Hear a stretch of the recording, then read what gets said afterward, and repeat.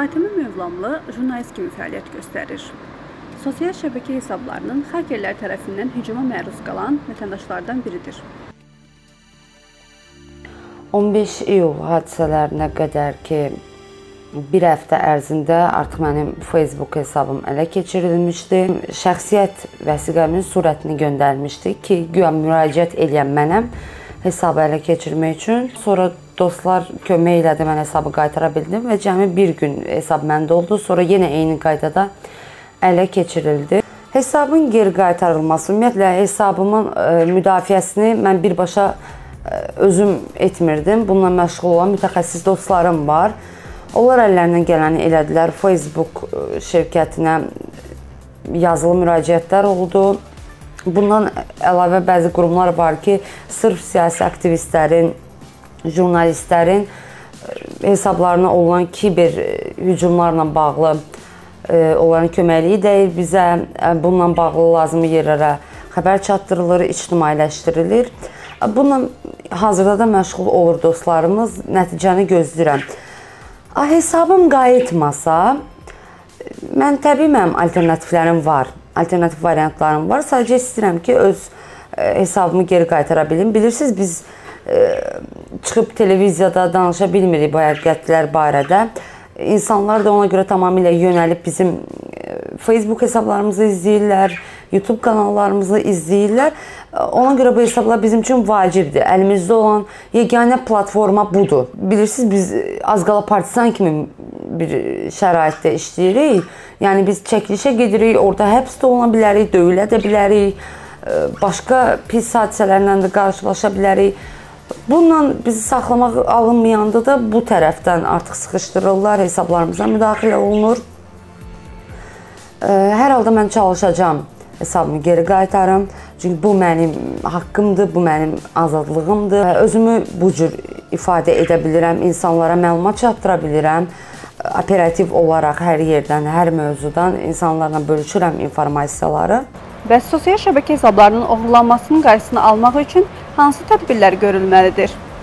Sosial şəbəkədə istifadəçilərin e, öz hesablarının qorunması üçün ilk növbədə diqqətli olmağı tələb olunur. Diqqətli deyəndə maillarına gələn şübhəli linklərə sosial şəbəkə ilə bağlı tıklamamaqları e, və yaxud e, hansısa messengerdə gələn şübhəli şübhəli sorğulara və yaxud linklərə girməməkləri tələb olunur. Diqqətli olmaqla yanaşı, həmçinin də istifadəçilər öz hesablarını daha güvənli parollarla, şifrələrlə qoruya bilərlər.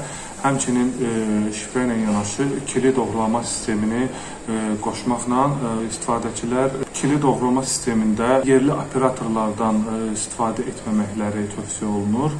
Onun əvəzinə iki addımlı doğrulama sistemini Google Authenticator və yaxud digər e, bu tipli proqramlardan istifadə edərək daha güvənli edə bilərlər. İstifadəçi öz hesabını e, e, bərpa etmək üçün sosial şəbəkələrin yardım mərkəzi e, tərəfindən e, istifadəçidən e, şəxsiyyətini təsdiq edən hər hansı bir e, vəsiqə tələb oluna bilər. Bu e, anda əgər istifadəçinin özü bərpa etməyib, etməyibsə, onda bu bildirişlərlə bağlı e, təhlükəsizlik tədbirləri görülməlidir. Mütəxəssislərə müraciət etməlidir. Mövzu ilə bağlı media üzrə hüquqşünas Ələsgər Məmmədli deyir ki, vətəndaş hüquqi müstəvidə iki yolla sosial şəbəkə hesablarını qoruya bilər. E, hansısa hesabı uğurluğa məruz qalan və ya alınan hansısa formada şəxsiyyət vəsiqəsi ələ keçirilib, onun vasitəsilə hesabı dəyişdirilən şəxslər bunun iki yolu var. Biri həmin sosial şəbəkənin özünün daxili qaydaları çərçivəsində mübahisələndirməkdir. Hər bir sosial şəbəkəni istifadə etdiyiniz zaman orada ümumi istifadə qaydaları olur. O qaydalara uyğun şəkildə onun geri alınma proseduru da mövcuddur. O çərçivədə o tələb oluna bilər. İkinci hal isə məhkəmə yoludur ki, istənilən halda şəxsin şəxsi hüquqlarıdır bu, həm də onun şəxsi hesabına müdaxilə, şəxsi məlumatlarının qanunsuz əldə olunması və şəxsi hesabının uğurlanmasıdır ki, şəxsi həyat hüququnun pozulmasına gedib çıxır. Bu da e, iki halda iki məsuliyyət yaradır. Bir şəxsi həyata yönəlik olaraq məsuliyyət yaradır. Bu e, şəxsi həyat sirrinin yayılması və ya ona müdaxilə, şəxsin özəl həyatına müdaxilə. İkincisi isə şəxsin e, icazəsi olmadan onun hesablarına xaker hücumu, həm də kompüter e, cinayətləri kateqoriyasına girir ki, buna kiber cinayət deyirik. Kiber cinayətkarlıq. Hər iki halda da e, cinayət məsuliyyəti açıla bilər və həmin şəxslər müəyyən olunması və məsuliyyətə cəlb olunması hüquq mühafizə orqanlarından tələb oluna bilər.